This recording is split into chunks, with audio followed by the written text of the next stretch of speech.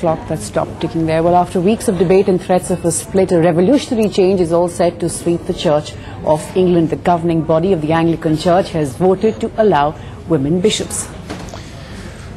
Well, uh, women priests uh, were allowed Reverend to enter the male-dominated church in 1994. A furious battle that often seemed to have little to do with holiness and piety over whether women priests like her can be consecrated as bishops in the Church of England. The Anglican Church has a clergy of 13,000. 3,000 of them are women priests who are barred from going up the ladder, being ordained as bishops. Winds of change are sweeping the Anglican Church.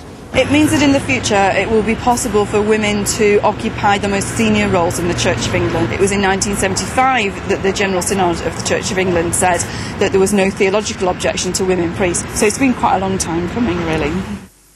These newspaper headlines give some idea of just how vociferously groups within the church oppose the move.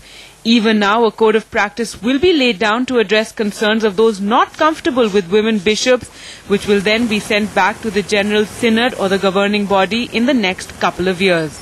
To give you an idea of just how revolutionary the step taken by the Anglican Church is, the Roman Catholic Church and the Orthodox Church still don't allow any women priests.